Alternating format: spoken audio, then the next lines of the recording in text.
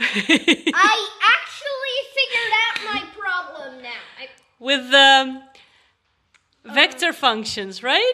That you always get stuck with the matrix class in any language that you try. but, but when I solved this But what was the problem? when I solved this problem, another problem appeared.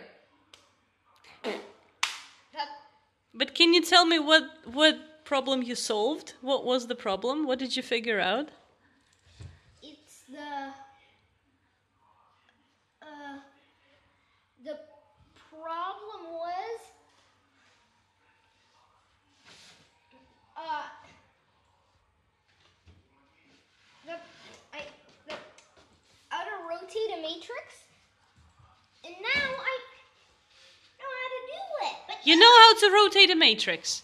I uh, you have to treat each of the matrices rows, the matrices rows, Rows. hmm as a four, di- er, and I'm using a four by four matrix as as a four dimensional vector, but and rotate these, and that's and that's the problem that just popped up. How to rotate a four dimensional vector. Oh, so you're stuck again.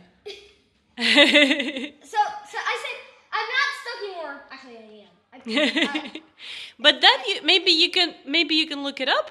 How to rotate a four-dimensional vector? Are you gonna look it up? yeah.